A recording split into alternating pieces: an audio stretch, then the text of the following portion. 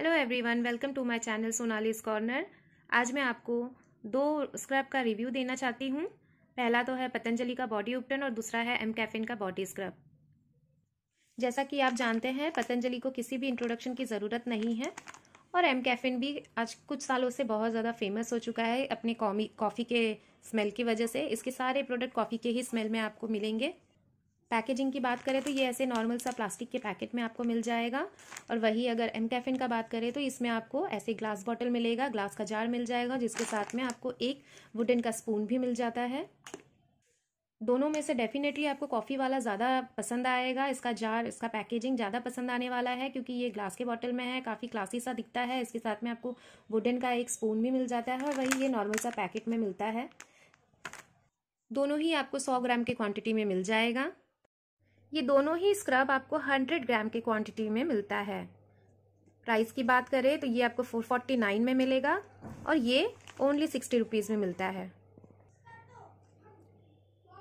अगर आपको कॉफ़ी ज़्यादा पसंद है तो ये डेफिनेटली आपको पसंद आने वाला है क्योंकि ये पूरा इसका टेक्सचर आप देख सकते हैं, जो बिल्कुल कॉफ़ी के तरह ही है सेम लगेगा कॉफ़ी ही है बट थोड़ा सा हार्श है। इसके अंदर बहुत दानेदार, एकदम हार्श टाइप का है। जो कि आपके फेस पे बिल्कुल आप नहीं लगा सकते हैं। और इसका ये भी थोड़ा हार्श ही है बट ये नेचुरल इंग्रेडिएंट्स होने की वजह से ये उतना भी नहीं है जितना कि वो कॉफ़ी वाला है। दोनों ही स्क्रब को आप वीकली टू टाइम्स यूज़ कर सकते हैं। ऐसे तो दोनों को सिर्फ़ पानी में मिला के लगाने बोला है, पर इसमें आप दूध या दही दोनों में से कोई भी जो आपके स्किन में जाता है, आप यूज़ कर सकते हैं। अगर आपको नेचुरल चीज़ें ज़्यादा पसंद है तो आपको ये वाला ज़्यादा पसंद आएगा, क्योंकि इसमें जैसे कि मसूर की दाल और सोयाबीन, बादाम ऑयल कपूर, बादाम, लौंग सिनेमन ये सब जौ, ये सब नेचुरल चीज़ों से ये बना हुआ है। और अगर इसकी बात करें तो ये तो लगेगा कि पूरा कॉफ़ी ही आप लगा रहे हैं। ये पूरी कॉफ़ी की तरह है बट अंदर में बहुत ज़्यादा दानेदार हार्श है थोड़ा सा। इसीलिए आप इसको बिल्कुल फेस पे कभी ट्राई मत करिएगा। इसको फिर भी यूज़ कर सकते हैं फेस पे, पर इसको बिल्कुल नहीं। अब इसको लगाना कैसे है? जैसे कि दोनों को ही एक ही प्रोसीजर है लगाने का। आप अपने वेट स्किन में पानी से डैम्प वाला कर डैम्प करके उसके बाद में आप इसको यूज़ कर सकते हैं। इसमें पानी मिला लीजिए या दूध मिला दीजिए। अगर समर है तो आप दही मिला सकते हैं। विंटर है तो आप इसमें दूध मिला सकते हैं। उसके बाद आप लगा सकते हैं। और दोनों का ही अमेजिंग रिज़ल्ट है। अगर स्मेल की बात करें तो इसका स्मेल काफ़ी अच्छा है, बहुत ज़्यादा अमेजिंग है और इसमें कोई भी स्मेल नहीं है। नेचुरल जैसे होता है बेसन बेसन का स्मेल वैसा ही है। बट रिज़ल्ट अगर आप दोनों को दो हाथों में लगा कर देखें, एक जैसे कि एक को एक हाथ में ये लगा दिया और एक हाथ में ये तो दोनों का रिज़ल्ट एकदम सेम आपको मिलेगा। दोनों में ही आपको लगेगा पूरा पॉलिश हो गया है।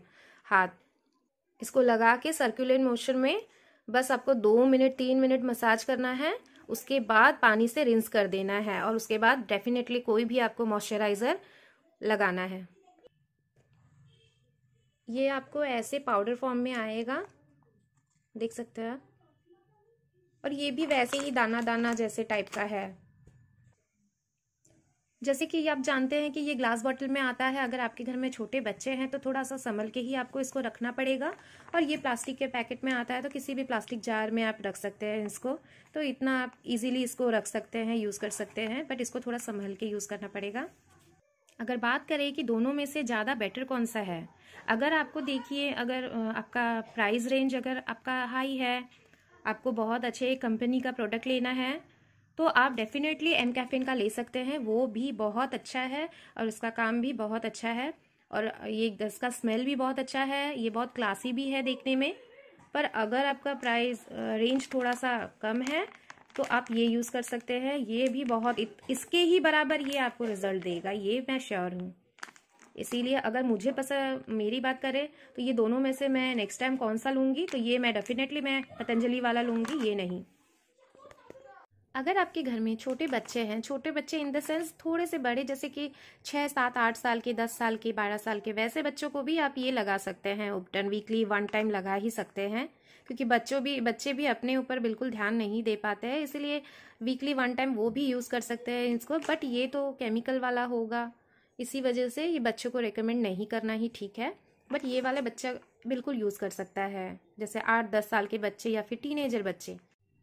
ऐसे ही रिव्यूज़ आगे और देखते रहने के लिए मेरे चैनल को लाइक एंड सब्सक्राइब ज़रूर करिएगा। आप मुझे कमेंट भी कर सकते हैं और बता सकते हैं कि आपको ज़्यादा कौन सा पसंद आया। Thank you for watching.